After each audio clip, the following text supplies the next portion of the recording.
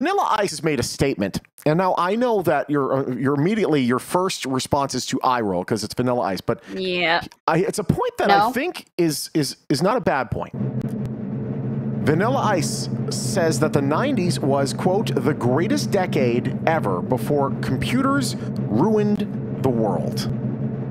Yeah. I agree.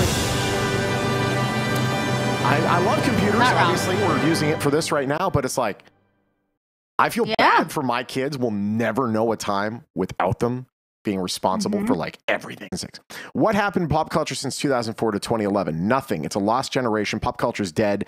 So it was the last generation where pop culture was alive, where you had fashion that actually mimicked the music. Now, I will say this. I just started uh, uh, the uh, if you download the Audacy app today, um, presented in part by Macy's and Geico. I have to say that now whenever we talk about the exclusive stations. Um, the uh, the I have the exclusive station Y2 Play, and it's 1998 to 2004. Yes.